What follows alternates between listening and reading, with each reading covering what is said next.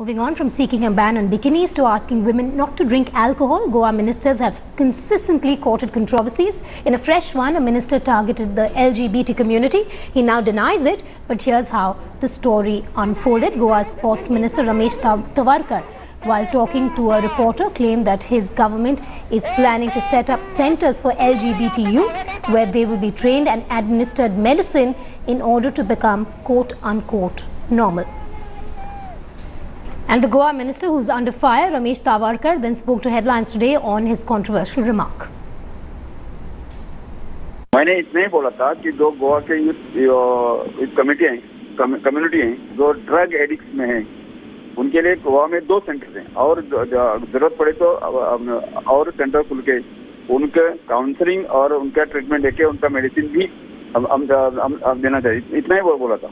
LGT के बारे में मैं कुछ भी नहीं कहा। एक एक ही बराबर उसने दो प्रश्न अपने पूछे थे और ड्रग एडिक्ट मैंने मैंने मैंने उनके बात की थी कि ड्रग एडिक्ट और सेक्सुअल एडिक्ट के बारे में मैंने मैंने बोला था कि एलजीटी के बारे में कुछ भी नहीं मैंने बोला। आपके किसी रिपोर्टर ने उसका मिस मिस कोटेड किया है। जो यूथ है, उनको, उनके लिए एक सेंटर बना के उनको ट्रीटमेंट देके मेडिसिन का भी हम के बारे में सोचेंगे। इतना ही बोला एलजीबी के बारे में मैंने कुछ भी नहीं कहा Goa Sports and Youth Affairs Minister Ramesh Tawadkar's statement has created a lot of controversy. Joining me now is LGBT activist and uh, chairperson of the Humsafar Trust, Mr. Ashok Rao Kavi. Uh, Ashok ji, no, want to know your first comments on the statements that have come in. The first comments is I didn't believe it that this was real news. Okay, because no, I didn't think a minister would be so stupid as to make such statements. Even after the Delhi High Court judgment has said that it is not an illness. You know, the uh, Delhi High Court judgment had clearly talked about SOGI, which is called sexual orientation and gender identity rights.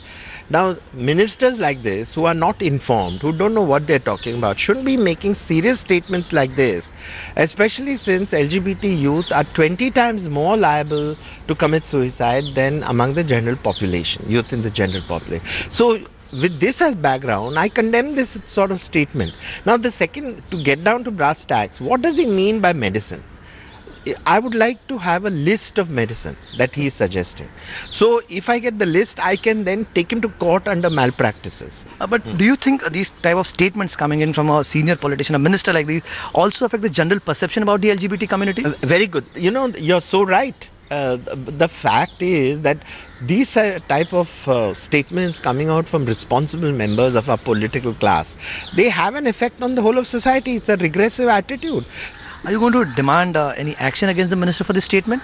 I would like to demand definitely action against this uh, minister. I want him to apologize to the community first.